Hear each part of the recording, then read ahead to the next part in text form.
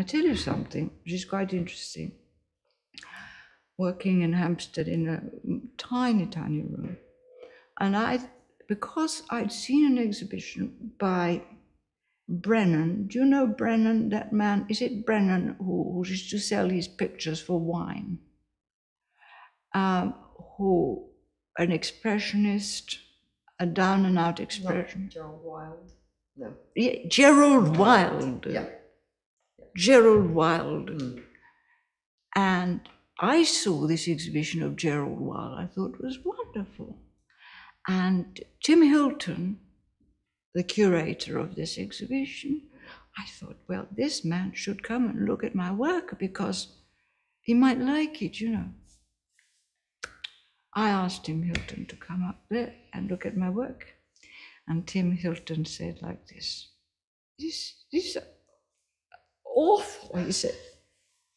You know, you're completely wrong, he said to me. You're completely wrong.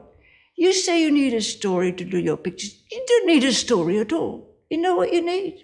You need like this a long canvas, five colors, different brushes, and you start. You dip a brush and you cover the canvas from left to right, and then you dip another brush in another color and from right to left. And when it's full, it's a picture. Terrible. So, oh God, when he went away, I cried and I cried and I cried. I thought, I'll give it a try. So I went to Portugal and I did this. I tried to do this, this thing with, with paint and putting it across. Of course, it didn't mean anything. It didn't mean it. So I had to give up and go back to doing my things. But that was a disaster. Silly man. Mm. Silly man, imagine saying that. And uh, so then I went back to doing these collages, but very slowly. The way of doing, you see, um, became academic. That is to say, it became a way of doing, and when it becomes like that, that's that's rubbish then, because you you are you, you become it's a system. It becomes a way of doing it, and you're not you you forget what it is that what story you're telling and you, you it's just a kind so i was not happy.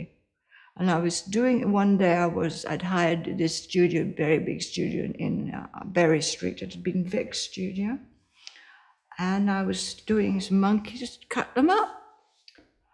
And uh, my friend João Penalva came along and he said what are you going to cut up those monkeys for? They're lovely like that but this was already 1979, see, so things were changing.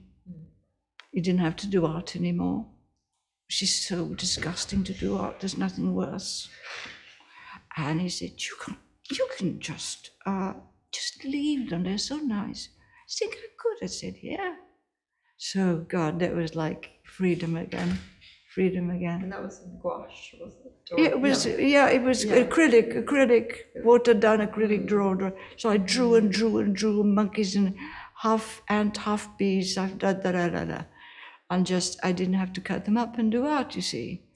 And it was those monkeys beating his adulterous wife and those pictures that I showed at the Air Gallery. And Robert McPherson, who was the only one who didn't cringe when he came to look at my pictures he actually said, okay, we'll give you a show at the gallery. And I was so thrilled. I was quite old already, I was 40. I remember it really well. Remember- Do you? Well, I remember um, Bob, my husband, Yeah, yeah, I remember. was on the committee and Patrick Simons, and they, when Robert McPherson said, "Oh yes, this is good." Oh, you see, there you are. That's wonderful. So I was so pleased. I couldn't believe it. It was so wonderful. I think I think Macpherson had also run the Gainsborough House. He, there was a friend of Susan and Patrick George and so on. Uh, he was very kind, and um, and then I did those monkeys beating his wife, especially for the show.